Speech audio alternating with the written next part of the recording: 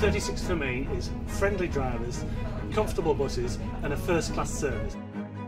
You've got the best bus drivers in the world and they all deserve a medal.